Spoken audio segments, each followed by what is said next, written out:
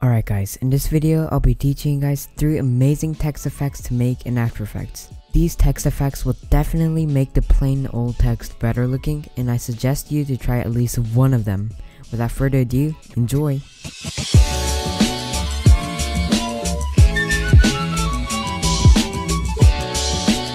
Alright, so the first text effect is this really cool and shiny and bright text effect.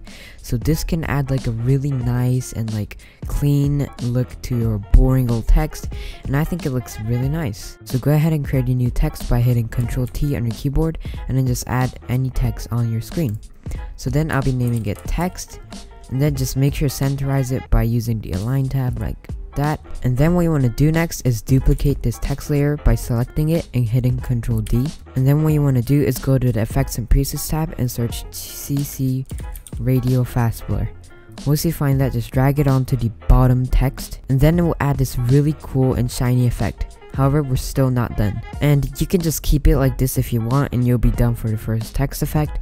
But I like to just increase it quite a lot. So my favorite amount is around like 90 but sometimes I even make it more and intense because it looks really nice. And then all you want to do after that is select the text again, hit T on your keyboard, and then just control your opacity on how much you want. So I like it around like 60 maybe, so yeah. So let's move on to the next one. So our next effect is this really cool looking and floaty text effect. And a lot of people have asked me how I make these floaty and wiggly text effects. So the first thing is obviously get the Sapphire plugin. But then after that all you want to do is create a new text again. And then just name it anything you want. I'll just name it text again. And then align it to the center of your screen by using the align tab. And then go ahead and effects in the presets tab. Go ahead and search S underscore shake. And then at first when you apply it to the text layer, it will lag a lot and it will add a lot of layers and weird things. It might look very confusing, but all you want to do to fix this is go to the effects controls tab, scroll down a bit and see this reflect and reflect wrap X and Y position.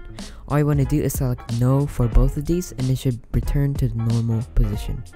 After that, if you preview the text right now, it looks really weird. It's kind of like a shaky and weird effect. And if you like that, I don't really care. You guys can just keep that. But what you guys want to do next is go ahead and copy down my settings. For the amplitude, go ahead and select 0.250. And then for the frequency, go ahead and choose 1. And then scroll down and go to tilt shake.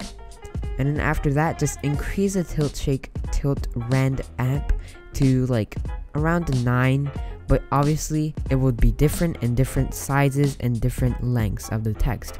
So you guys can play around with that if you would like, and let's preview our text. So yeah, I think it looks pretty cool.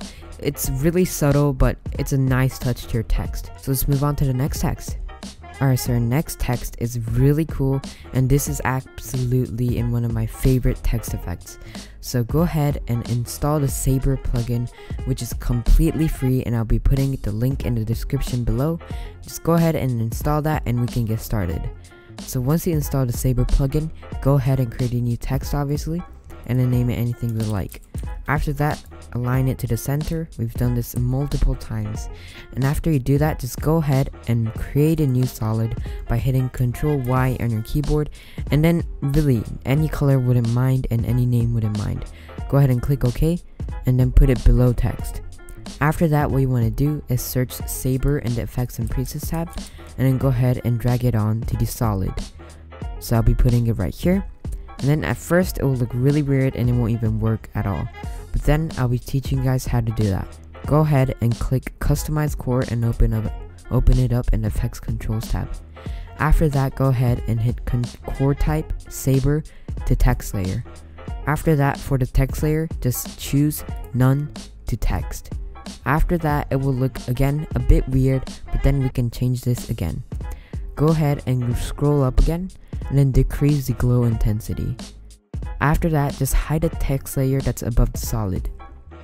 Then what you want to do is to the preset tab, just select it and hit anything you would like. So I'll be using Patronus for today's tutorial just because I really like how it looks and I really like how it's just really nice.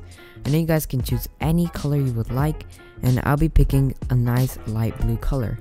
And then you guys can control the glow bias, the glow spread, and choose any settings you would like. I'll be using this setting just because it looks really nice and go ahead and preview what you got. So it will take a few seconds, maybe even a few minutes to load because it's a pretty heavy plugin and it's a pretty difficult plugin to run for computers. However, once you export it, it will look really nice just like the one on my screen right now. And I really hope you guys enjoyed all these text layers. So that's it for today's video. Thank you guys so much for watching. I hope you guys learned something new today. Make sure to subscribe if you enjoyed and like the video if you enjoyed too. Thank you so much for watching once again and I'll see you in the next one. Bye!